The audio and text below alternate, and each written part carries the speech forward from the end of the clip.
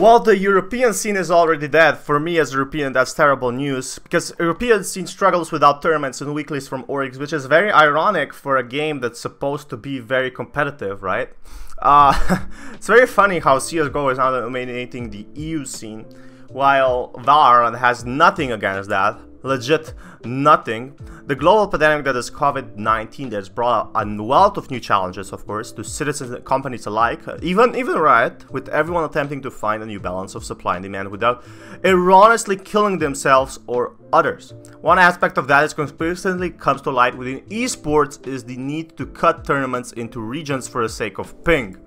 So you don't want to be feeling fucking South Korea over there just to be playing against, you know, players in US because someone is gonna have 300 ping.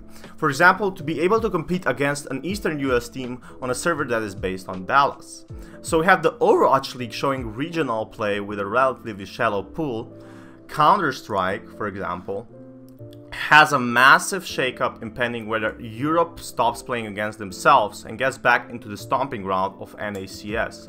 We have esports. Like, this is a huge problem. Nobody talks about this because this is a huge problem. Imagine you can't go to tournaments anymore because it's quarantine, right? We have esports around the clock and it's strange parade that never ends. Yet while some posit that the NA scene of Counter-Strike is beginning to suffer due to Valorant's release as young players flock to be a part of grassroots of the eventual league, so people want in. People are rushing in, they're running in, they want to be the number one in Valorant, right? An opposite reaction is occurring in Europe, regarding Valorant. It's just sad, it's sad. There simply aren't enough tournaments and weeklies happening to bring a new community to life. Europe has historically been in love with Counter-Strike, and they tend to dominate in entitled looking for international trophies alone. So while the West sees many shifting over Valorant due to uh, current state of CSGO, not many in Europe and are eager to take a new continental hobby. So um, I'm guessing in EU, it's very popular, but um, Valorant in EU is dead. That's sad. I'm kind of from EU, so I also have EU servers. We kind of have to wait for players. True kind of blows all the tournaments are in NA with no TOs wanting to get in. Tournament organizers, basically that means.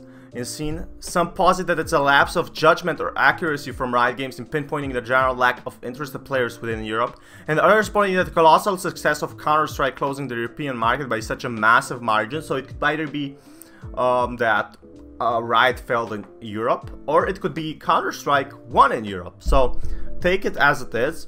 Um, that Riot would see disheartening return on weather investment they sunk.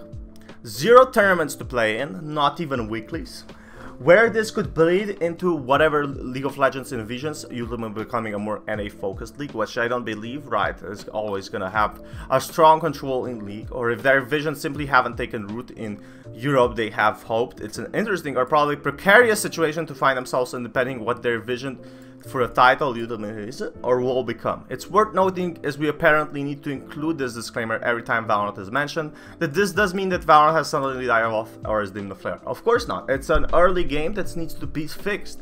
A lot of things are a huge problem in Valorant. As is on the bin, Valorant is suffering within the European scene due to an apparent lack of interested organizations willing to funnel money yet into another esport. And that's completely fine. Are you gonna funnel your money into, I don't know, um, a small business store uh, in the middle of a desert? Desert? Desert? Yeah, no, you're not gonna do that. What you're gonna do is funnel it into the big cities where a lot of traffic is coming in. So for example, when I'm talking about this desert, where when there's no esport established yet, um, and I'm talking about CSGO, that's the big city. That's where the money comes in. That's where the money rolls in. That's where the sponsors are already established. It's a big problem. Tournament organizers don't want to funnel in money because, I don't know, I guess there's not a lot of hype. And it's a paradox, you see? Tournament organizers don't want to put in money. And what happens is there's not going to be enough interest in that because there's no tournaments. So it kind of repeats itself, right?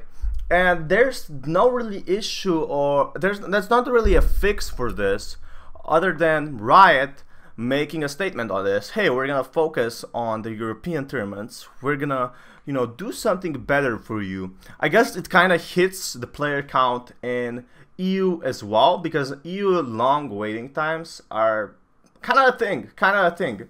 Even even in like, I don't know, Scream has to wait probably like 10 minutes just to join his Radiant match, which is fucking crazy for a game that just released five months ago.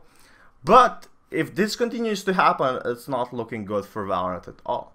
Hopefully you enjoyed this video, and this is Fatman, sign out. Peace guys.